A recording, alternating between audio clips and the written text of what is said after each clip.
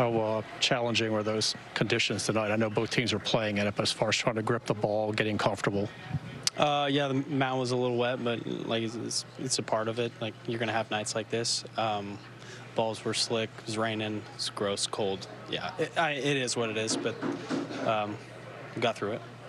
no matter what happens, this has been a great year for you. And what turned things around for you? Thank you. Uh, I appreciate it. Um, I think the the most important thing was just not backing down from anybody that's stepped into the box, no matter what their name was or who they played for or, or anything like that. I said that that's like the biggest difference. I think, other than the stuff. Last year was so bad.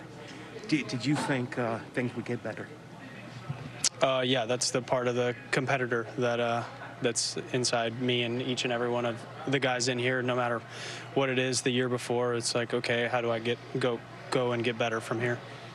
It's official. You're that you're going to be pitching for uh, Team Israel. How excited are you to uh, to pitch in the WBC next spring? Super excited. Um, I've been playing for their national team for a handful of years previously, and then played in the last uh, WBC. And uh, anytime I get to represent the country, uh, like it's it's a really fun experience.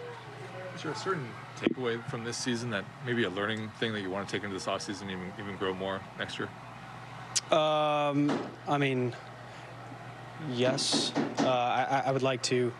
I mean, th- there are some things that I want to sharpen, and and there's like I'm I'm always going to be chasing velocity. I'm always going to be chasing like getting my stuff better and and executing better and and whatnot. So just like just like every other guy, we're we're just trying to ha- have our uh, trend upwards.